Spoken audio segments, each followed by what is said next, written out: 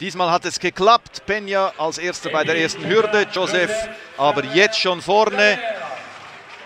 Joseph mit einem viel aggressiveren Lauf wie im Vorlauf zieht das Ganze durch. 13,40! Wenn der Wind stimmt, ist das Schweizer Rekord im Halbfinale. 0,7 Meter pro Sekunde der Rückenwind. Es muss noch offiziell bestätigt werden.